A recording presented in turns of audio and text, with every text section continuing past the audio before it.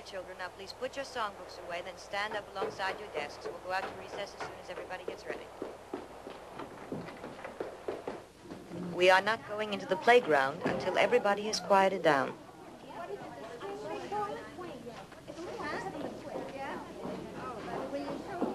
Close that door quickly. What? Please. What is it? Look. We've got to get the children out of here.